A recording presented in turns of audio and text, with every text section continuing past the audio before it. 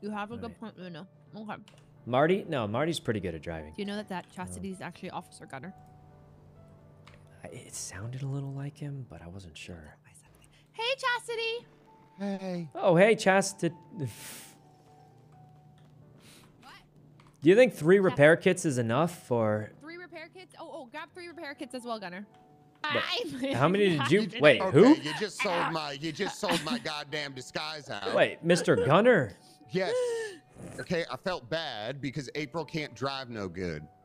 Yeah, that's true. That's why we're setting up a beginner race. Well, I was trying to teach her how to turn, and if Uh-huh. racers find out that a cop's there, they'll kill me. They will not No, know. no, as long as you're not chill, chill. snitching on them. If anything, they'll think you're a cool Well, as long as you're off duty, right? No, I'm not. I am. I am. But I will be at the yacht at midnight. What? But What's happening at the yacht at where- midnight? you know that's what we're doing.